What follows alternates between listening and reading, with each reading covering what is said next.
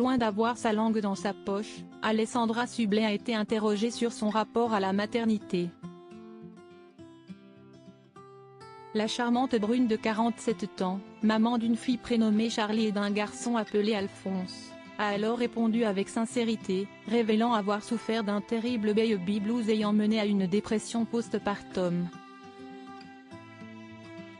Figure bien connue du petit écran, Alessandra Sublet a fait les beaux jours de nombreux programmes à l'instar de L'amour et dans le pré, avant Karine Le Marchand, La France a un incroyable talent, c'est à vous ou encore Siesti Cantelou.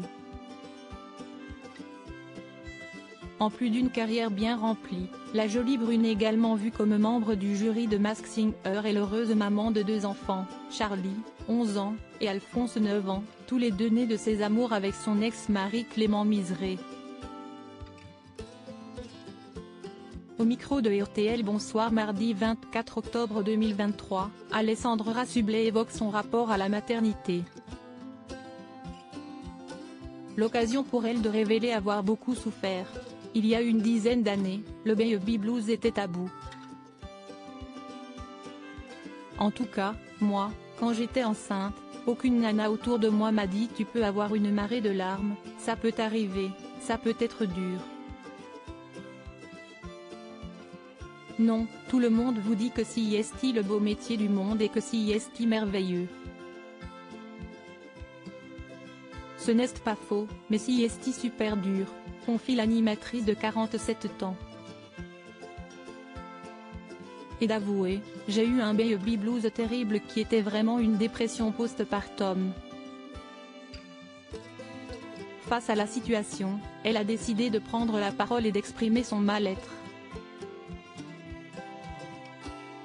Parce que si ça m'arrive à moi, ça arrive forcément à plein de femmes, explique-t-elle. Si Esti ainsi qu'Ouest naît son livre Ta le blues, Baby, publié en 2013. Une période difficile pour la jeune maman qui estime aujourd'hui qu'il faut le dire haut et fort, la maternité si est difficile. Mais si est pas grave et ça ne m'empêche pas d'aimer mes enfants du fond de mon cœur, tempère-t-elle.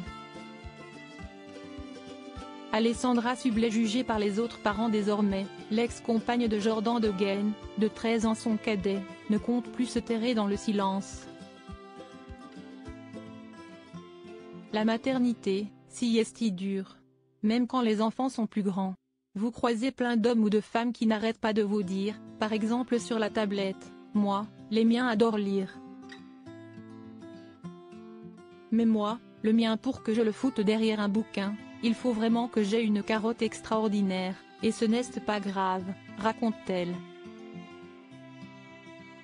Et de poursuivre, ça me rappelle, à l'époque j'avais un rehausseur pour la voiture qui était hyper compliqué à mettre, une fois sur deux je me disais non, le truc partait dans le coffre, je mettais mon gamin à l'arrière avec la ceinture de sécurité.